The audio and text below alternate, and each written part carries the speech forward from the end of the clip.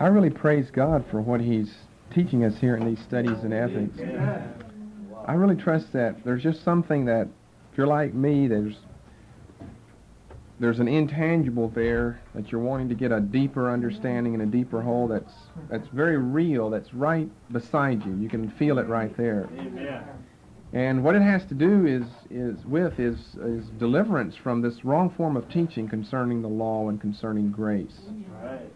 And I praise God for what he's showing us I, I really do I thank the Lord for that because you know, grace is what Christianity is all about, and if we don't have grace, we're not a church, we're not Christians, we're just deceiving ourselves here. We're Old Testament Israel, we're a false religious cult or whatever. If we don't understand some of these deeper principles of grace and these deeper principles concerning principles, as opposed to laws and regulations and rules and these various things. So I didn't mean to go into so much detail here because this could easily be dealt with in theology, but you see how it also fits into the ethical situation. You really have to understand a lot about principles, or would get over there to a text like Deuteronomy 22 and verse 5, and a person would misunderstand a passage like that. And I wouldn't, nor could I, complain about that or fault them because they haven't had proper teaching. As a matter of fact, if anything, we've all had wrong teaching when it comes to these areas of law and grace, when it comes to these areas of what God requires of us in our life it's always been, for me anyway, most of what I've heard, most of what I've heard, and it's all out there in charismania, is wrong teaching. And even if it's right teaching and wrong emphasis, it's still wrong teaching because that's what comes out. You pick up things that are not intended by the Holy Spirit for you to hear. Maybe that's what the minister intends, but God, the Holy Spirit, doesn't intend for us to see these things. Now, the only people that you'll find, I found a few good theologians, and generally those are the only ones. Because if you're not a theologian, you're either a legalist or an antinomian, one or the other. I've only found a few good theologians, good conservative, non-charismatic theologians who have a deep grasp on this business of grace and law. And there's something about a grasp on that, whether you're filled with the Spirit or not, but we know that that's normal to be baptized in the Spirit, that just causes you and your personality to glow and to shine.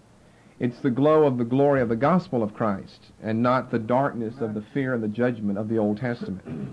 And so you ought to strive to have that recognized in your life. That you're a person who recognizes that you're under grace. That you are under grace. Romans 6 and verse 14. That you're not under law. It's Galatians 5 1. You've been set free from the yoke of bondage. Don't be entangled with that again. And people so often go out of Egypt to go into Babylon.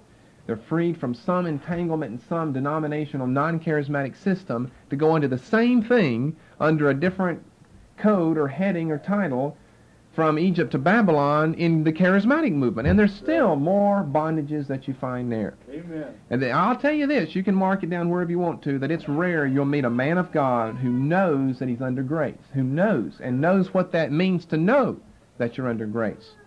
Person like that doesn't have a weak conscience. I'll tell you that. And I'm not saying that I know all about grace, but I know that my wife has said many times to me, I'll do something, and she couldn't do that. And she'd say, wow, I said, your conscience is free. That doesn't bother you, does it? And I said, no, it doesn't bother me. And I'm not talking about doing something wrong. Obviously, that would bother me if I did something wrong.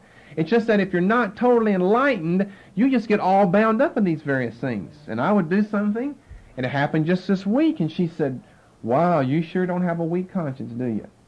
You know, the Bible speaks of people who have a weak conscience. It just bothers them about everything. Their little laws and legalisms, they're trying to remember all of them and do all of them. and they've got a weak conscience. I've got, I believe I do have a strong conscience, that I just do these things and I'm not sitting there pondering and worrying and wondering like a lot of people do. There's more we could say about conscience, but you know that Scripture speak of that by name. A weak conscience, a defiled one, a seared one, and so forth. And one thing I don't think I have is a weak conscience. That makes you strong in doing things. But the only way that you'll ever have that is to understand that you're under grace, that you're under the loving protection and concern of your Heavenly Father that sent Jesus to the cross to bear all your sins away. And so you possibly, you couldn't possibly fall down in utter abject fear over one little thing that you've done wrong when all of your sins have already been judged in the body of Jesus Christ. And again, you have to understand grace, or that leads immediately to antinomianism. As soon as you think, well, Jesus already took care of all of it, then even if I do make a mistake, and after all, we're all human, let's be realistic, we all make many mistakes in life, you start going along that line, and that's kind of weaving away from Matthew 5.48 then. So you got to keep all of that together. Well, what I want to come to next are the proper Christian motives for conduct. They're numerous, and you may be surprised at some of these. and I'm going to be giving them to you in an ascending order, which will mean that the latter ones are the more important ones where the Bible, the New Testament, puts its emphasis. But the former ones are not invalid as long as they are taught and understood like we're soon going to teach now and understand them this morning. That's very important to know what, what proper motives are to make sure you've got them. You can't have something just by osmosis or just because you got saved. You just think that everything that you want to do is right because you're saved and God sanctifies you and your life by the Holy Spirit, and that means everything is approved of God. Doesn't mean that at all. So let's look at proper motives for Christian conduct. In the first place, now we're going to start on the bottom rung of the ladder and work our way up. I guess you could say that some of the bottom rung motives are more easy to misunderstand, misinterpret, and misapply. I think that definitely is true. Especially the first two, than when you compare those with some of the later ones that we'll get to. Okay, so the first proper motive is the motive of the fear of chastisement. Now that's the least important of the motives. The fear of chastening, of the Lord's chastening hand.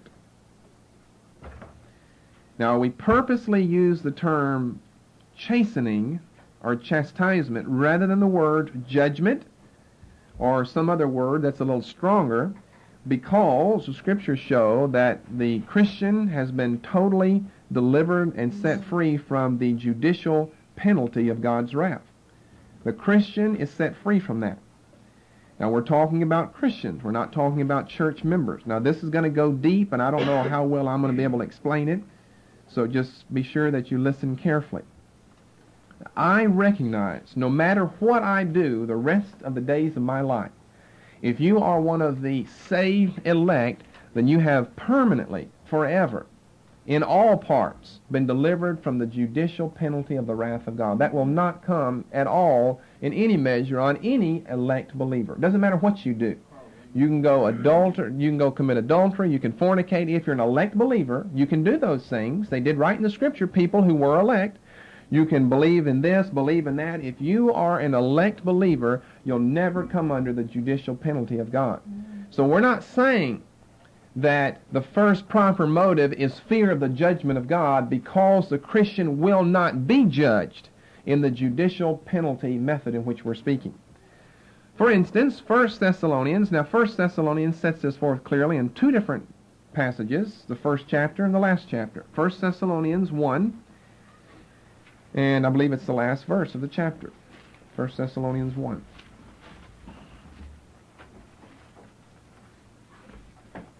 Now this is what you need to get a hold of. This will really set you free. Oh. It doesn't set you, Paul teaches in Romans 5 and 6, it doesn't set you free to sin. You never use your liberty as a license to sin. But as I've said before, whenever you keep people in bondage, many times that makes them do worse than they would if you would allow them to be free. Sometimes you can try to, you know, keep an animal caged up and just fighting at the cage. You let the animal out, he won't leave your yard. He'll stay right there. I've had that happen. It's remarkable. You put it in a cage and he didn't want to be there. You let him out, he's not going anywhere. He'll stay right around there. And it shows even the instincts of that animal there. They don't like to be bound. When you bind them to something, they generally do worse and they act their worst. You allow them to be free, and then they do their best. Then it just it just happens that way, and it happens with we who are believers. Praise God. Oh, First Thessalonians 1.10. Uh, he speaks of these Gentiles in Greece where they had turned to God from the idols that they had been worshiping, and they were waiting for his Son from heaven whom he raised from the dead, even Jesus, which delivered us from the wrath to come. And this is the judicial penalty of the wrath of God. And if you are an elect believer, Jesus has already delivered you from that. And then over in chapter 5 and verse 9. For God hath not appointed us to wrath, but to obtain salvation by our Lord Jesus Christ. Now, uh, you might want to put a footnote to that verse. A lot of people use that verse as a proof text for the fact that none of the church is going through the tribulation period. But they're misinterpreting the passage. As a, as a matter of fact, the very passage will contradict that as we study that under eschatology. But many people will use that verse. God's not appointed us to wrath, and you know what's going to be poured out on this world during tribulation? The vials of God's wrath against mankind. And so since God has not appointed us to wrath, but to obtain salvation, that means that no Christians will go through any portion of the tribulation period, which is not what he's talking about there in that verse. Let's leave it speaking of what we're speaking now of the, of the judicial penalty of God. So fear of chastening is not fear of judgment, not in the sense that we're using the term. Because the scriptures teach, the book of Romans, that all of the elect believers' sins have already been past tense dealt with and judged in the death of Jesus Christ. He bore our sins in his body. God's judgment for the elect believers' sins has already taken place on the cross of Calvary. See, God's not going to judge you for your sins. Even the passages that speak of judgment, and we've sp- spoken of those recently, so we're not skirting the issue. No one brings them up, so we're brave to bring them up. Romans 14:10, 2 Corinthians 5:10 and 11. Those are not speaking of the judgment of the believer for his sins. Speaking of something else entirely. Nor do we mean by fear of chastening the fear of condemnation, that God will condemn you because of what you do wrong. We're talking about a proper motive. Why do you do what you do that's right? Well, I do it because I'm afraid that God will condemn me if I don't do what's right. No, that's an improper, that is an unchristian motive. Romans 8 and verse 1. There is how much condemnation to those that are elect believers? There's none at all. But what if you do something? Well, he didn't say what if. He said there's none at all. A lot of people can't handle what I'm saying right now. Right. They just can't fathom that. But what if I commit a gross sin in the eyes of God? Well, he said there's none. There is no condemnation. Your sins were condemned when Christ was made a curse. Galatians 3:13. That's all already been dealt with. And to give you a passage from Jesus' own lips, John 3 and verse 18, a proper motive is not fear of condemnation, not fear that God's going to judge you judicially, but it's a fear of the chastening hand of the Lord that we'll get to in a moment. We're looking at it negatively right now. John 3:18 He that believeth on him is not condemned. But he that believeth not is condemned already. You're not waiting for future condemnation. If you're an unbeliever, the wrath of God, verse 36, is on your head now. You're condemned now because he hath not believed in the name of the only begotten Son of God. So from Jesus' own lips, when you believe, you are not condemned. The condemnation that was due you and your sins has been imputed to Jesus Christ on the cross of Calvary, and you're free from condemnation. You're free from judicial penalty. You're free from the threats of judgment that so frequently are heard today. Now, the lost man, we're not talking about the lost man, but I'm going to tell you what is the desert of the lost man, and you'll find out that a lot of people are preaching messages as though they're preaching to lost men. Romans 2, verses 5 and 6, there's the desert of the lost man. Or Matthew chapter 3, whenever John Baptist warns those Pharisees, what does he say? He says, Who has warned you to flee from the wrath to come? Now, you cannot preach a message like that to a group of elect believers. Because they're not fleeing from the wrath to come, because they've already been delivered past tense from the wrath to come. They're not fleeing from judgment. They've already been judged. All their sins have been judged in the person, the substitutionary atonement of Christ, in the person of Jesus Christ. They're all judged. They're all dealt with. And so many people will use a verse, that's even a New Testament one. Of course, it's before grace and Calvary and everything, but they'll use a verse like that to preach messages to people who are saved. Who hath warned you to flee from the wrath to come? If you don't really get on the ball with God, watch out because he'll judge you and you'll be condemned. No.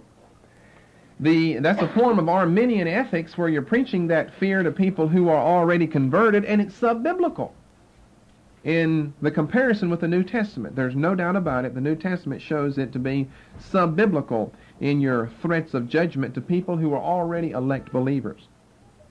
Now, the New Testament labors the other point that we are the dear children of God, that He's our Heavenly Father.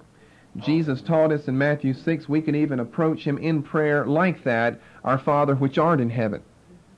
Which shows maybe chastisement, fathers chasten, but you don't see him as the tyrant as he is made out to be by people even in the pulpit. Now he's a tyrant to the lost man, but he's a heavenly father to his children.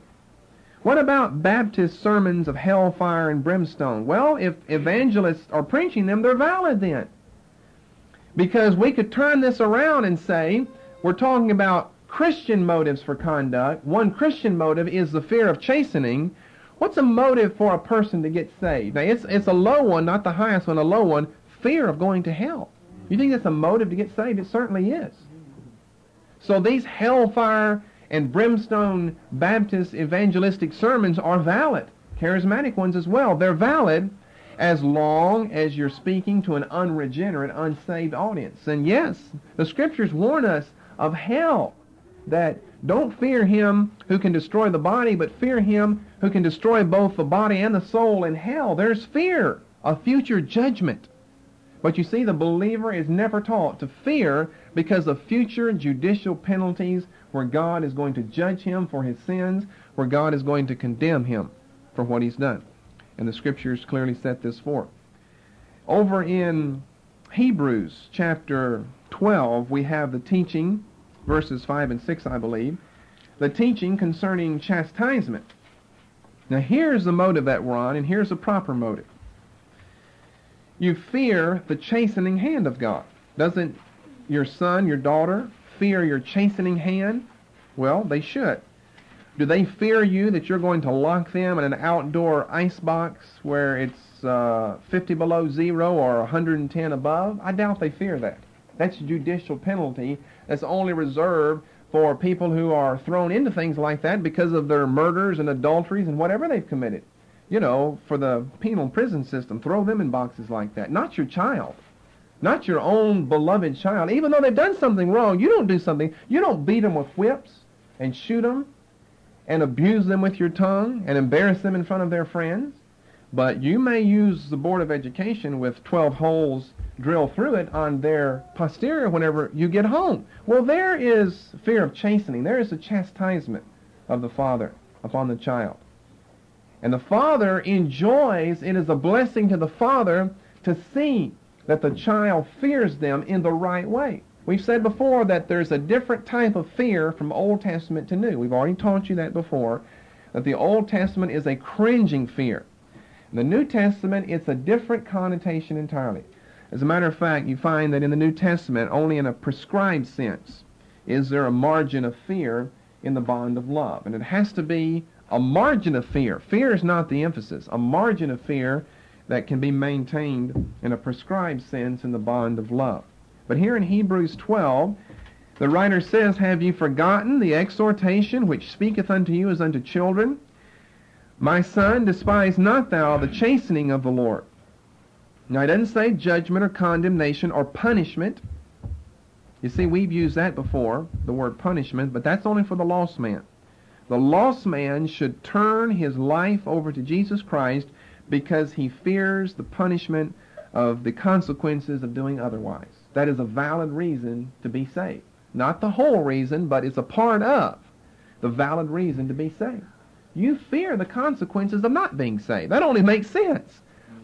Whenever there's a pit before you burning with fire and brimstone, you should tell the truth if that's being held over you, that if you don't, you're going to be thrown into that. You're afraid of being thrown into that. Well, that's what hell's all about.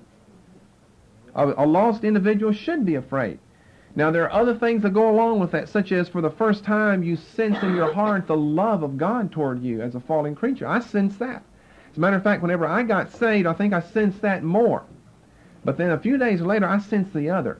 And I thought, oh, am I glad I'm not going to hell? I didn't think too much about hell, you know, until after it was too late for me to go to hell. I was already saved. Praise God. Then I got thinking about it, and I thought, oh, what a terror. What a terror. And for different people, it happens different ways. I've taught that before, that sometimes I think some of you have been converted under messages of fear and judgment. That's okay. And others of us have been converted under messages of love and concern and, and God's grace. They're both valid. They're both valid. So that's for the lost man. We're only talking for the one who's saved now. And that's everybody here, I assume. We're talking to saved people. Don't faint when thou art rebuked of him in his chastening of you, for whom the Lord loveth, he chasteneth and scourgeth every son whom he receiveth. If you endure chastening, well, it's proof of your sonship. We go on, he goes on down in uh, verse 11. There are positive benefits in all of this. See, what's a positive benefit in being judged judi- judicial, judiciously? There is none. Because once you've been judged, it's too late. It's over with now. Verse 11 Now no chastening for the present seemeth to be joyous, but grievous. Nevertheless, afterward it yieldeth the peaceable fruit of righteousness unto them which are exercised thereby. Hallelujah. So really I'm talking about a concept in the mind. Whenever you're presented with an option and you choose not to do it because you think that it's wrong, you can't do that because you're afraid of being punished. But you can do that because you're afraid God will chasten you if you do something in disobedience. And it brings glory to God to have children, whether they're sons or daughters, who are all in subjection to what the revealed will of God is so that they're afraid of the chastening, disciplining hand of God if they don't live up to what they should. You know, we were getting ready for church the other night. I think it was Wednesday night, to give you an illustration that blesses an earthly father's heart to no end. And I think all of us were upstairs except Jonathan, and he somehow had gotten the back door open maybe the back door was open and he got out the storm door. Anyway, he got out in the yard, wandering around, just having fun. And we were all upstairs. It was almost time to get ready to prepare to come to the body here. And he got it was so quiet downstairs that whenever you've got young children, they get too quiet. You go look on them, see what's going on. You know they found something interesting. There wasn't a sound downstairs, and so we hollered down. You know what are you doing down there? And he didn't respond. There wasn't a sound. So we go down there and find out he's out the back door and he's crying because the door is too tall, too high up to reach for him to reach to come back in. He can push it and go out and he can't come back in. So she went down and let him in. I was still upstairs. And she opened the door real quickly and let him in. And it's one of those doors that has the arm that closes slowly by itself, the storm door. And she came on back upstairs. About the time she got back upstairs, he just started screaming and crying downstairs. And so I went down there this time ready to paddle him because I thought now he decided he wanted to go back outside. And he can't make up his mind back and forth like that. And so I was going to give him a paddling if he was screaming down there. It was time to start getting ready. And he had his back away from the door, his face toward the door, and his hands holding onto that little black bar that closes the thing. And he had his back to me, and he was just screaming and screaming and screaming. And I couldn't see what was going on. I didn't know what was happening. So I walked up behind him, got down on my knees so I could be eye level with him to startle him whenever he turned around and tapped on his shoulder. And he turned around, and as soon as he saw me, he just yelled, Daddy, I won't cry anymore, I won't cry anymore, I won't cry anymore. and I said, Well, good. Now, what were you crying about? He said, My finger's crushed and it hurts real bad. And he just, you know, he was fearing chastisement there. It's what he was fearing. And he said, I won't cry anymore. And so I said, okay. And then he turned around and he still had one hand holding onto the door. And I looked over there and his finger was just crushed behind that thing. And so I asked him. He just got real quiet. I had to ask him, well, what were you crying about? And he says, my finger's crushed and it hurts real bad. That's what he said. My finger's crushed and it hurts real bad. And I looked over there and sure enough the thing was just smashed blue inside that door. Well, that gives an earthly father unending joy to see a child respond like that when you're in pain, but you don't dare say anything because you're afraid of being chastened. And then whenever it's all over with, then you announce, you know, I'm about to die. Could you help me here now? that blesses my heart, and I'm sure it must bless a father's heart where we're so in tune to please him. We don't want to be chastened by him. What did he not want? He didn't want a belt on his bottom. He, he didn't want that. He did not want to be spanked. And so he was willing to forego all of his pain and everything, and he was screaming at the top of his lungs. It must have hurt. That takes a lot of inner struggle and control, self-control. When you're in pain, just to stop yelling and screaming and be able to come back down on a rational level and start talking again. And for a two and a half year old to do that, he's doing pretty good. Some of those of us who are older just keep on yelling the whole time. No self-control at all. It's because we don't have that fear in us of chastisement from our Heavenly Father like we should have. And when you find out, lo and behold, that his finger's being mashed pink and purple and red and blue, and he's not saying anything about that until you ask him about it, it just really touches your heart. So, although this is least on the rungs of the ladder and going up, it's an important one that we fear the chastening hand of the Lord, and so we do what is right. Now, Hebrews 10, verses 30 to 31, and Hebrews 12, verse 29, have to be understood in the sense that we've been speaking of the fear of chastisement, where I said earlier that only in a prescribed sense is there to be a margin of fear in the bond of love. And those verses speak of God being a consuming fire and it being a fearful thing to fall into the hands of the living God.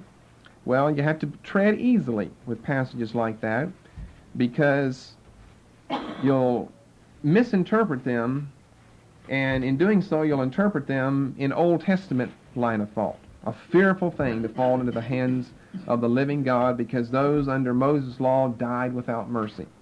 And by the way, if you'll read both of those passages, he's using it in the context of the giving and the practice of the Mosaic law, Hebrews 10 and Hebrews 12.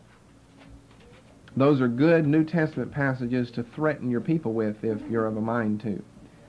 If you've gotten free from Old Testament, then you turn over here to 1031 and say it's a fearful thing to fall into the hands of the living God. What are you trying to do? You're trying to make everyone so afraid of the terror of God's judgment that they'll do what's right. Mm-hmm. And you need to go over from 10 to the beginning of chapter 12, where we looked at verses 5 and 6 and see the chastening hand of the Lord. There's one other verse I just thought I'd throw in so that you aren't thrown off by it. 1 Corinthians 11 and verse 32, because he uses both words, judgment and chastisement here. I'll show you what he means by the word judge. I think anyone who's intelligent could understand what he means here. Where he says, But when we are judged, then we're chastened of the Lord. Well, judge doesn't mean divine judgment or judicial penalty. It just means when we're judged, whenever God looks over our life and passes some decision on what we've done. You know, he's talking about the communion here when we're judged or when we're reviewed, you could say, when God has reviewed us and seen that we did so, something wrong, then we're chastened of the Lord. But notice we're chastened, we're not judged. You see, the judgment merely is a review to find out are we right or wrong. We find out that we're wrong because we've not discerned the Lord's body. Then does God judge us? No. Then we're chastened of the Lord. So lest that verse throw a kink in your theology, we've dealt with that. Okay, let's come to another proper motive. We got a lot, so we need to move along. Another proper motive, second from the bottom, and it's just the opposite fear of chastening, desire for reward. Now, this is probably the most debated of the proper motives because of the history of corruption of this motive, the desire for reward. The Roman Catholic ethical system, with its erroneous doctrine of merit, has misinterpreted this idea, the desire for reward, and built a whole system and doctrine around it. Medieval monasticism is a good result of their doctrine, where people thought that because rewards are promised us, I'm going to set my affection totally on these heavenly rewards that I have, And it becomes a works religion. All you're striving for is more glory, more glory, more glory in heaven. More rewards, more rewards, more rewards. Here's a statement you might want to jot down that I found to be interesting and something that I read that an improper emphasis on present sacrifice in order to obtain maximum reward is the seedbed for pride and negativism. An improper emphasis. You see people who carry their crosses around like a crown. They're so proud of them. An improper, and they're glad that they've gone through more trials. Their life is a little more rugged than everyone else's. You know, the more I can sacrifice here in this life, the more rewards I can get in the next life. What does that lead to? Pride. Your pride. You are proud now over what you've had to do without in life. So here it is again. Improper emphasis on present sacrifice. What you have to give up, forego in this life. An improper emphasis on that. So that you can gain maximum reward is the seedbed for pride and negativism. You get too negative against the whole world. Everything is, well, it's over in the next life. This world is just so wicked and so bad, I'll forsake all of this life so I can gain all of the next. And I think that's been shown in the history of the corruption of this proper motive and principle of the desire for reward, where people have placed an improper emphasis upon what they're going to get in the next life via what they've surrendered in this so that they're proud over the situation, so that you may end up receiving nothing at all. Many times you'll find in this life, in the Christian life, that brother strives with brother to see who can get the greater reward in the kingdom. Luke 22 verse 24 speaks of this with Jesus when they were striving to see who would be the greatest in the kingdom. We're talking now about improper ways of looking at this proper motive of the desire for reward. It's happened again here in this church where people in the own privacy of your home or your bedroom or whatever speak of your desires of you just don't like to see others doing more than you and so brother strives with brother to see who can get the greatest reward in the kingdom. Luke 22:24 begins a little account of Jesus' disciples. So works are not merely instrumental. Our works that we do, our good Christian morals and ethics aren't merely instrumental just so that we can gain reward. And they're certainly not meritorious, which is what the Catholic system has made them out to be. but rather, evil is to be avoided because it's evil. And the desire for reward is never to serve as the chief motive for Christian conduct. We're presenting a few negatives before we get into a few positives. The desire for reward is never to be the chief motive for Christian conduct. Because then you're going to end up with a charge of egoistic hedonism. You're just out to see what you can get for yourself. Now, here's where a lot of criticism is leveled against the Old Testament teaching concerning peace now, I don't know if you know much about the Old Testament word for peace, but it doesn't just mean peace like we think of peace of mind. It includes such things as a large family. Yes, it does. Peace. A large family, flocks, herds, fruitful trees on your property, property to own, a home, as well as maybe finances if they've got some medium of exchange besides the barter system. So it includes prosperity, health, and long life. Now, I listed those from memory. I think that's most of them. And you think that's kind of prevalent of the Old Testament. A righteous man, what did he have? He had a big family. He had flocks and herds. He had valuables. He probably had some property somewhere.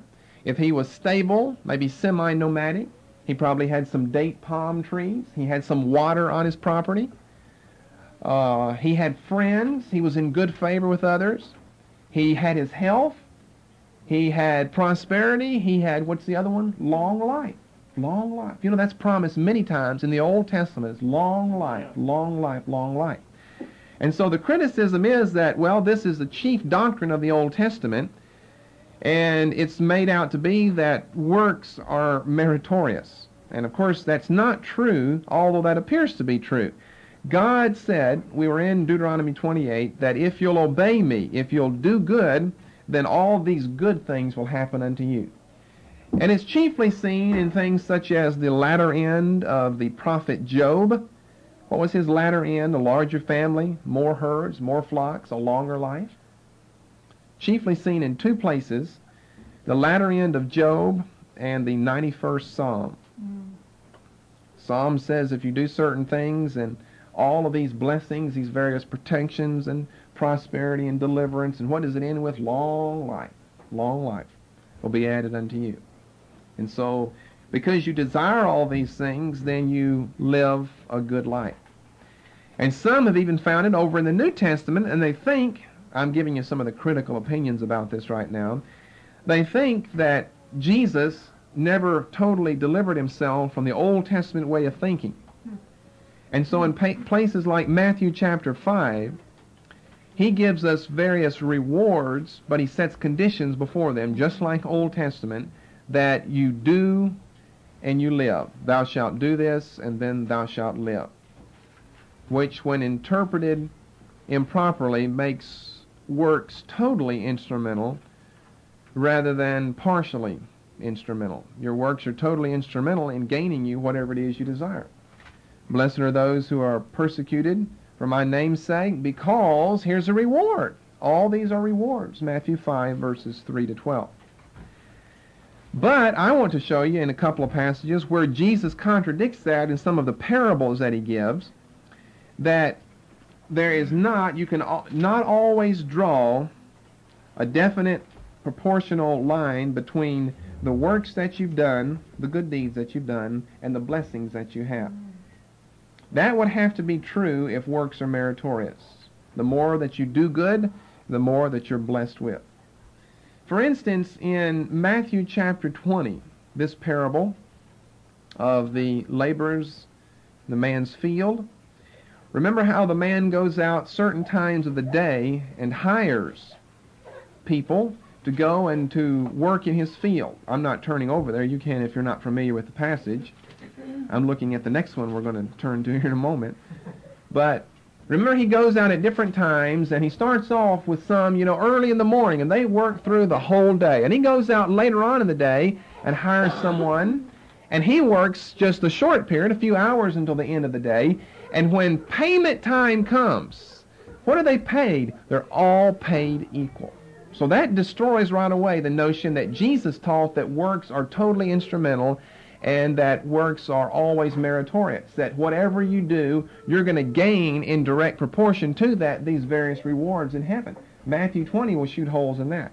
Because they all went out at different times. Some of them didn't work very long at all. But because of the grace of the man, the payer, the one who gave them their fee for that day, because of his grace, he gave the ones who didn't work very long as much as he had paid the others. And do you know what he said? He said, Is it not my right do, to do what I will with what is my own, namely my money? I can pay whatever I want to. And if you don't want it, you shouldn't have worked for me then. I can pay whatever I want to. And then I want to give you another passage, Luke 17. We're looking at these only briefly because this gets into theology. Luke chapter 17 wherein the apostles ask him in verse 5, Lord, increase our faith. Now, this is a difficult parable to interpret here, but he gives them a teaching in verses 6 to 9. And then notice what he says in verse 10. So likewise ye, when ye have done all those things which are commanded of you, then say, We are unprofitable slaves, we have only done that which was our duty to do. We haven't done anything that merits anything. We've only done what our duty was. And you know what? You never arrive above that in Christianity. You never do any more that merits you something extra that you've done far beyond what God requires. No. If you've ever done anything and it's been right, it's only because that was your duty to do that, and you've only performed your duty. People think, well, now, you know, this bottom line is my duty, and if I do any above that, this is the Catholic doctrine of merits. It'll either gain me merits or gain someone else merits. Or generally it's not me that's so good, it's some saint that came before me who just lived such a saintly life that they gained merits enough to spill over for me and my family and my friends as well. And that destroys the teaching here in Luke 17:10 that whenever you've done even your best, you've only done your duty. You haven't done enough to compensate for your sins. You haven't done enough to compensate for other people's sins. So how could you be talking about your own? So the works in no sense are meritorious. Ephesians chapter 2 and verse 8 teaches that whatever we have is by grace through faith. So even the works that we do, we're studying the desire for reward as a proper motive. That's a good motive. You desire to be rewarded in the kingdom. But you're not just going to be rewarded in direct proportion to how many good deeds that you've done down here. Because what about the thief on the cross? He didn't do any good deeds, but I imagine he's got rewards in the kingdom. I didn't get any amens on that. Maybe your theology is a little suspect in that area there. He didn't get to do anything, but he believed on the Lord Jesus Christ. That got him rewards right there without doing anything at all. So no, you, there's not a direct proportion to what you do and what you're going to gain in the next life. Now that's not saying, you know, stop doing whatever you're doing. That's probably proof of the fact that you've got greater grace on your life or whatever. But if you'll turn over to Romans 2 and verse 7, I already gave you Romans 2, 5, and 6 for the first motive. But in Romans 2, 7, I want to show you where the Bible clearly sets it forth as being a proper motive for Christian conduct. Now, Romans 2, 5, and 6, speaking of the heathen, the man who has the hard, impenitent heart, and what is he doing? He's treasuring up unto himself wrath against the day of wrath and the revelation of the righteous judgment of God.